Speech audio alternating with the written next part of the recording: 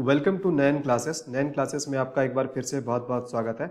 मैं हूँ विनोद शर्मा और इस वीडियो में हम ईडियम्स एंड फ्रेजेस का क्विज करेंगे।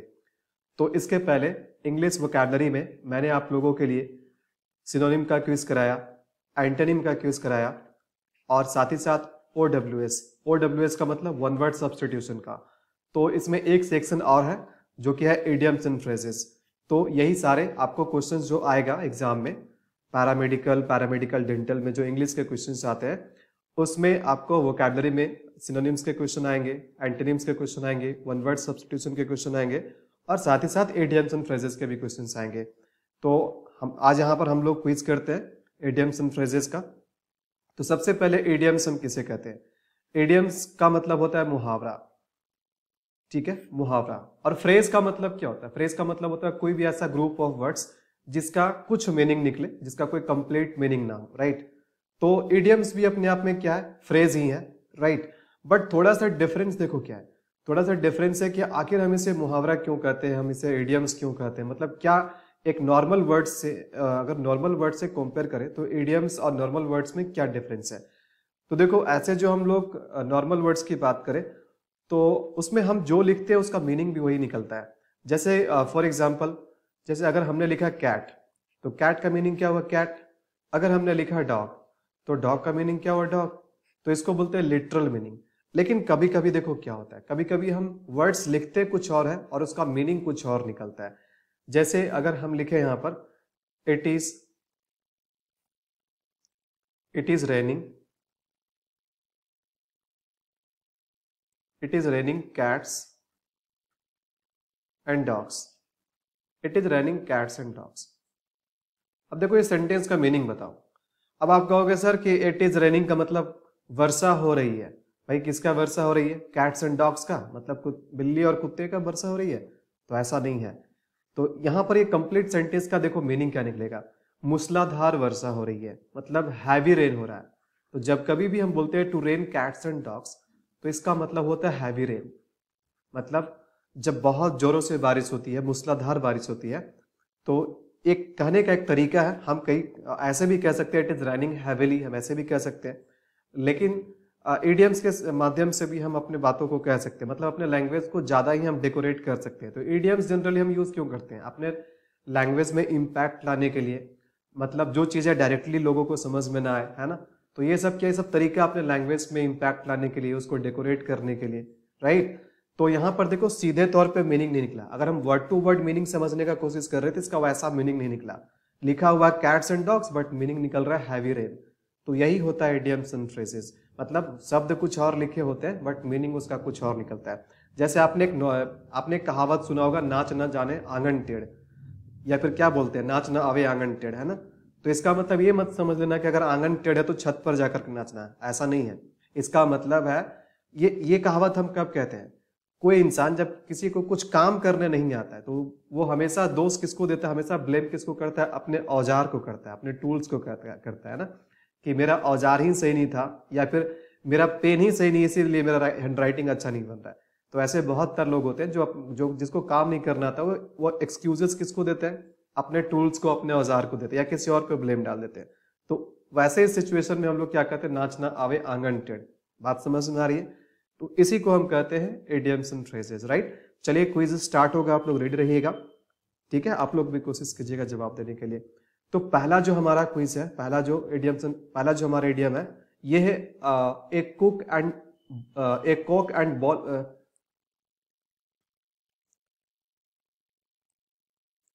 तो जो पहला हमारा एडियम है यह है एक कॉक एंड बुल स्टोरी तो एक कॉक एंड बुल स्टोरी का मतलब क्या होता है?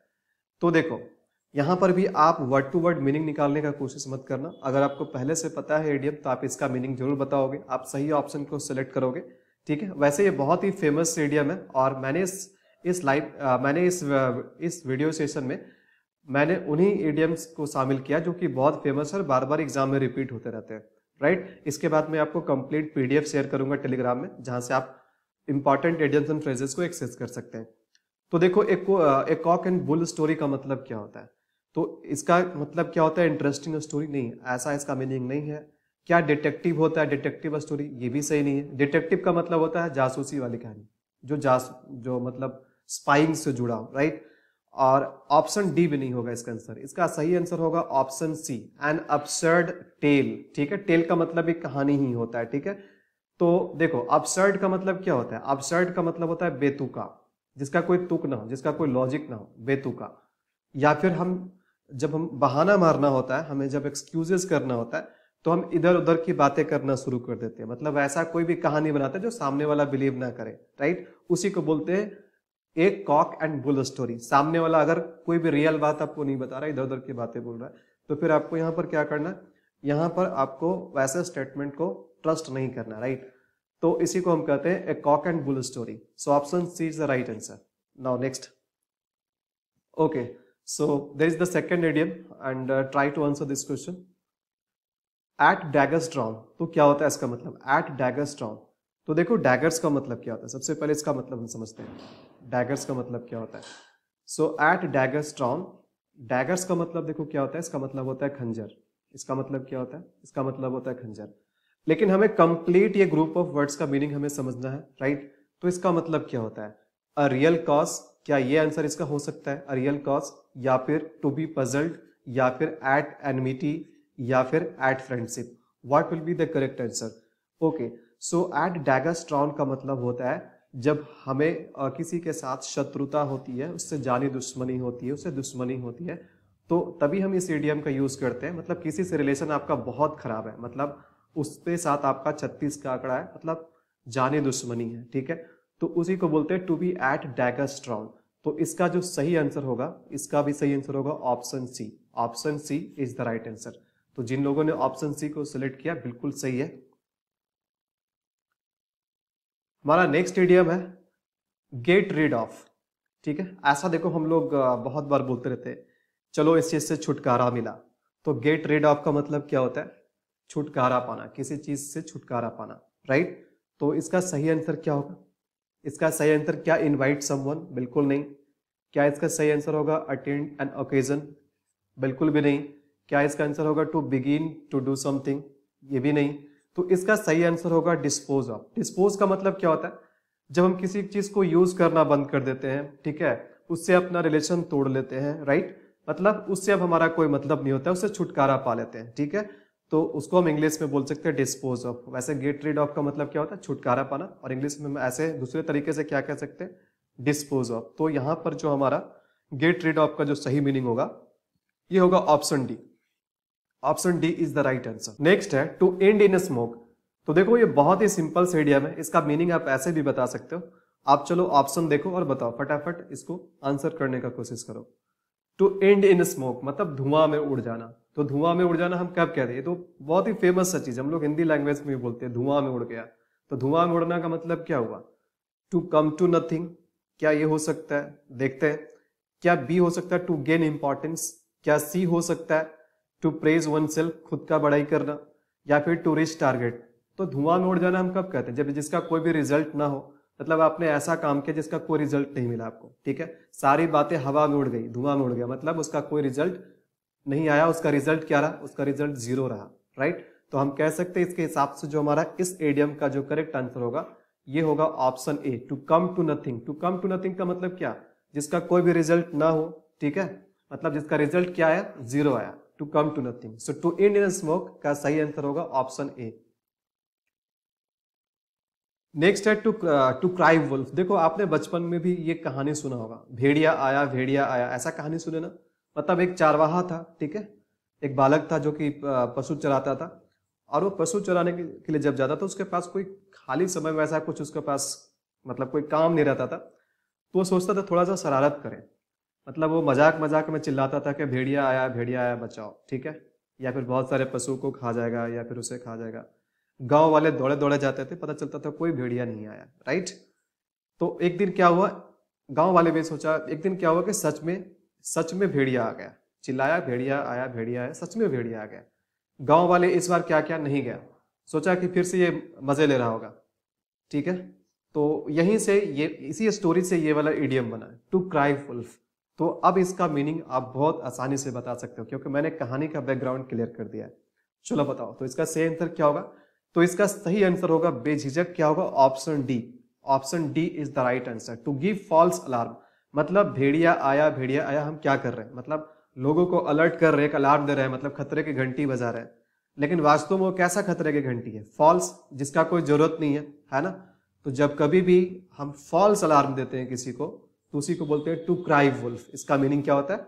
To give false alarm right चलिए नेक्स्ट स्टेडियम की ओर बढ़ते हैं। बहुत ही फ़ेमस हम हिंदी में बहुत बार बोलते हैं। चलो अब इंग्लिश में भी जान लेते हैं। बैग एंड बैगेज बोलते हैं ना कि लोग बोरिया बिस्तर समेत चले गए, या फिर बोरिया बिस्तर समेत यहाँ से चले जाओ। है ना? जैसे कोविड का सिचुएशन में जब लॉकडाउन आया तो बहुत सारे वर्कर्स है माइग्रेंट वर्कर्स जो, है ना? वो क्या हुआ? जिस जगह पे रह रहे थे वहाँ से बोरिया बिस्तर समेत अपने गाँव, अपने घर, अपने गाँव पहुँच गए। ठीक है? तो बोरिया बिस्तर समेत का क्या होगा? ऑल द क्लोथिंग बिल्कुल नहीं। क्या इसका होगा? विदाउट एनी बिलोंगिंग नहीं बिलोंगिंग तो बोरिया बिस्तर समेत का मतलब उसके, उससे जुड़ा हुआ जितने भी सामान है सब। ठीक है तो ऐसा तो नहीं होगा। देखो, छोड़ देना, किसी जगह को छोड़ देना एक अलग चीज़ है, लेकिन सारा बिलोंगिंग्स के साथ छोड़ना वो एक अलग बात है।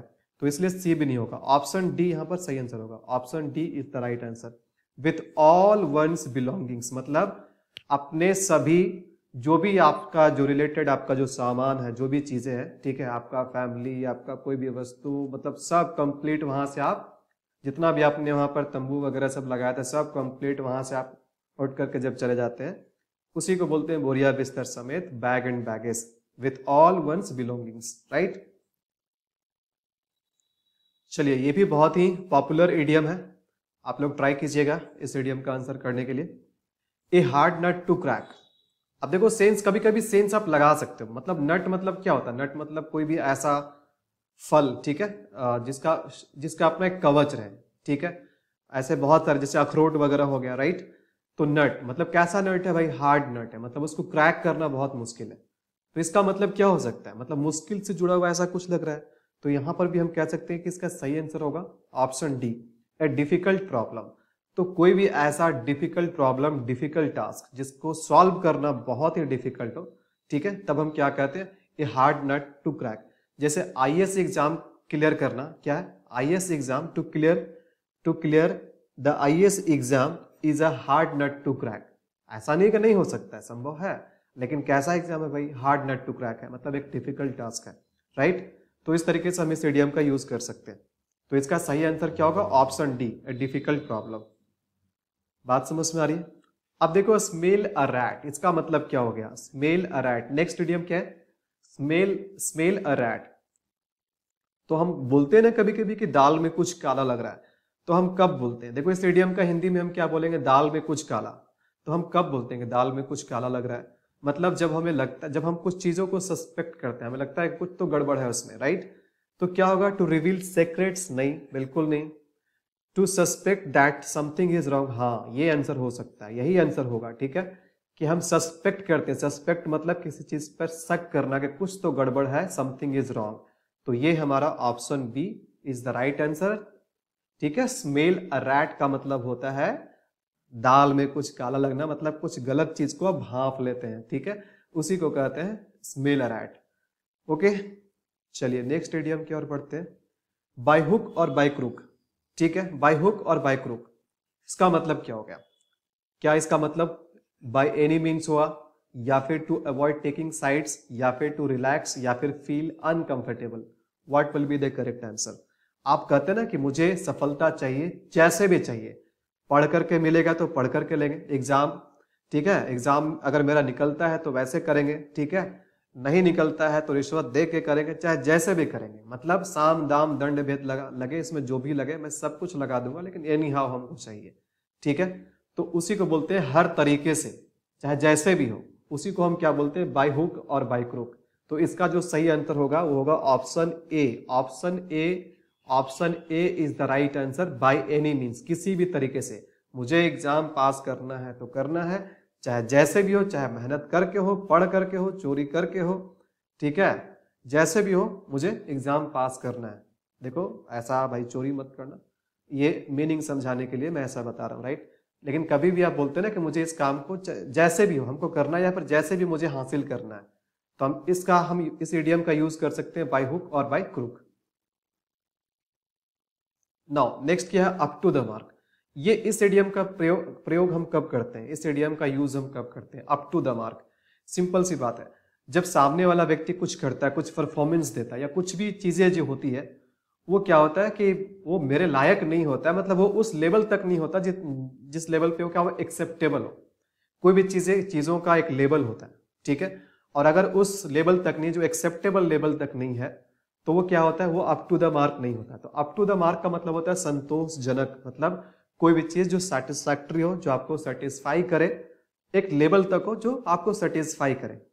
तो एक लेवल तक जो सेटिस्फाई करे, उसको हम क्या बोलते हैं? उसको हम बोलते हैं स्टैंडर्ड राइट क्या बोलते हैं? स्टैंडर्ड तो अप टू द मार्क को हम क्या कहेंगे? स्टैंडर्ड बात समझ में आ रही है? तो इसका आंसर जो होगा, ये होगा ऑप्शन बी स्टैंडर्ड राइट मैंने आपको इस वीडियो में कराया। साथ ही साथ मैंने आपको बताया कि एडियम्स एंड फ्रेजेस होते क्या हैं राइट तो ये केवल एडियम्स एंड फ्रेजेस का एक ओवरव्यू था, जहाँ पर हमने ten important idioms and phrases का क्विज भी प्रैक्टिस किया।